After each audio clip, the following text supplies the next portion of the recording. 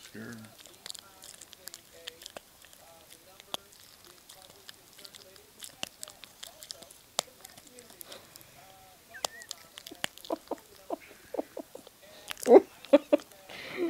Wait, baby.